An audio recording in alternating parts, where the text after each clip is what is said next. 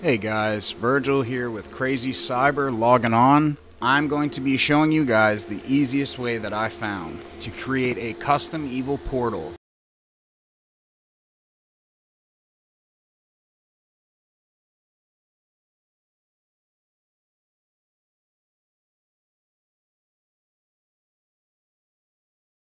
All of these products, as well as any relevant links for files or software like VS Code and QFlipper, will be linked down below for your convenience. If you are getting some value from this content, please consider liking and subscribing to the channel, as well as checking out crazycyber.com.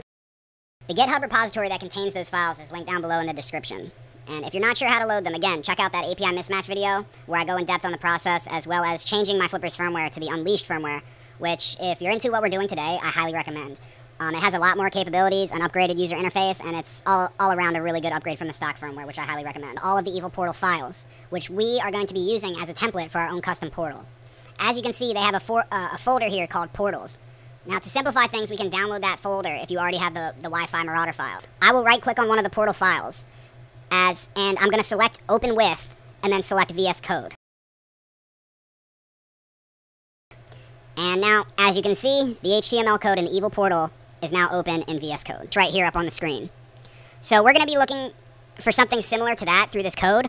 So I'll get into, um, you know, kind of the details behind that in just a second. But um, if you're struggling to find the image in, in your code, a quick tip to find out the exact code that you're looking for is to open one of the evil portals in your browser, right-click on the image, and select Inspect Element.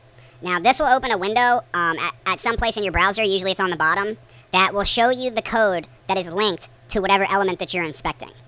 As we scroll through the HTML code that creates this portal, eventually we come to this section that has the image element that we're looking for. Now, what we need to do in order for the Flipper to be able to serve it, and serve it effectively and efficiently, is we are going to base64 encode this image, and we are going to work with a JPEG for this first example.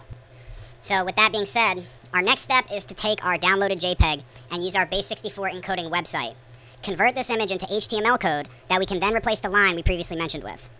After that line has been replaced, we can then save our work and run the code in the browser and check out how our portal looks, make sure it looks how it should, and make any fine-tuning adjustments that we need to make in order to get it to look how we want. And it's linked down below for anybody that wants to use the same encoder. So as you can see, it's super simple. Just select Browse in the local file section, upload your image, and for the output format, which we select here, we are going to select HTML image with the image tag. So we need to copy this in its entirety for it to work. If we, it's just best to hit this with a Control A and a Control C. So we take our base 64 code and we replace the current image data with our new data. Now we're going to save this as a new file so we don't overwrite the old one in case we want to use that file at some point. And now if we come over here in VS Code to the little play button, we can now run this code in the browser and see how it looks. And we'll just go ahead and select this, and boom, there it is. As you can see, we have our new image in the browser window, looking official. It's sized correctly and looks good. It's centered over the sign-up form, and we are looking really legitimate and official. And I'll also show you guys how that looks on mobile. And as you can see, everything scaled beautifully. Alright guys, so here we are back at our portal that we just created. And you can see that it says, use your Amazon account. So the only thing we have left to do is to change that field. Go ahead and right-click it and inspect the element. So as we scroll through this, you can see it took us right to the field that we needed. H2, we can see right here along this line. That's what we're looking for. Uh, we're going to scroll down to the field that we need. Uh, and here it is right here, H2. So we're going to call this generic company account. We're going to say use your generic company account. Debug, and boom, there it is. What we need to do now is we need to actually add that portal to our Flipper and click on the file manager. So you're going to go to SD cards, apps data, evil portal, and then HTML. And that's where you're going to add it. So now we're just simply going to grab our, oops, we're going to grab our generic company portal that we created, and we're just going to drop it right in there.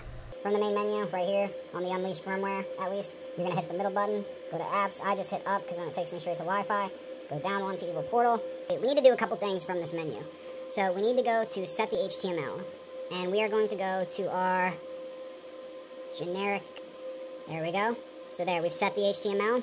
We're going to set the access point name to something short. So we're just going to say, all right, now we're going to save that. So now we've set the only two things that we really need to take care of manually from the flipper. The next thing we're going to do is we're just going to select Start Portal.